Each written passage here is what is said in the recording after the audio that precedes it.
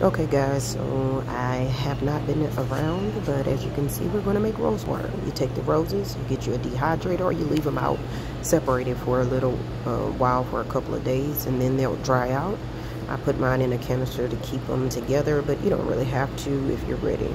Get you a teapot. Mine has a strainer. You put the tea, or you put the leaves inside of there like that, and then just pour your water, put it on the stove, and you boil it. If you don't have a teapot, Look, no problem.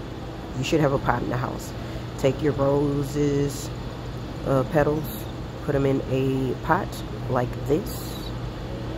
They're so cute, guys. Look at them. So vibrant still from the dehydrator. You're going to pour water, um, distilled water or spring water like this. Ozarka, that's what I use. And you're going to pour it in there just like that.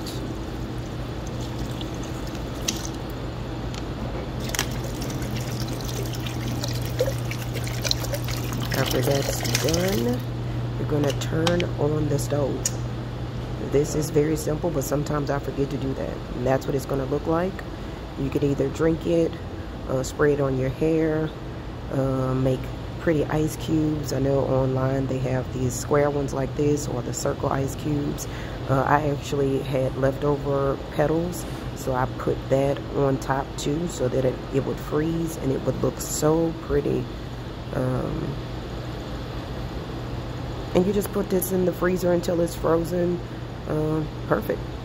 You can either drink it for tea put it on your hair spray it on your hair um, or make it into some pretty ice cubes. Well this is Southern Singing Kitchen. Live love and remember I love you guys and I'll be putting up more videos